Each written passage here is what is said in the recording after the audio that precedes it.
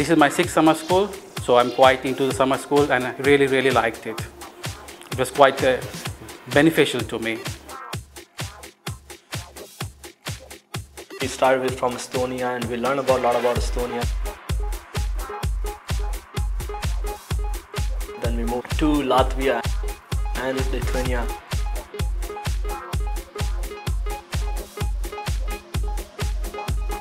I learned a lot about the Baltics, about why each country is different from the other, how you cannot lump them together as the Baltics. They are each country separately, even though they were under Soviet rule.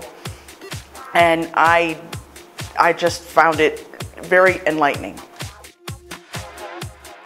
I like personally like for a, for an outsider, uh, uh, it's very you never think of Baltic countries. I you think of Baltic countries as just like all three countries are very similar in everything. That's what you think of, and.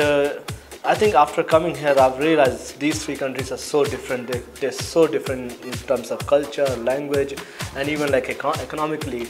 And uh, I think that's the great thing because once you come here, you get to learn about these three countries, and and I think that's the reason why I recommend that because there's a lot of opportunities here, and I think if you wanna, you can make your future here too.